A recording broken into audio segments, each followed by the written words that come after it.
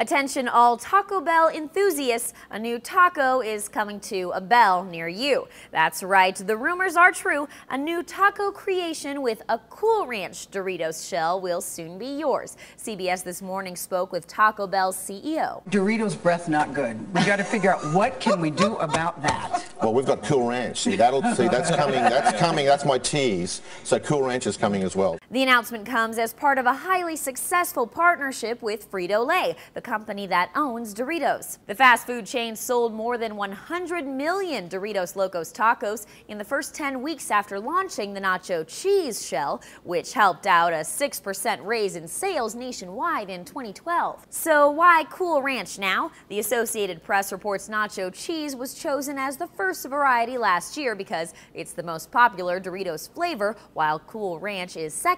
A writer for The Consumerist notes, clearly Taco Bell knows it's got a guaranteed win with this one, as the first DLT induced mass drooling and almost immediate adoration upon its debut in 2012.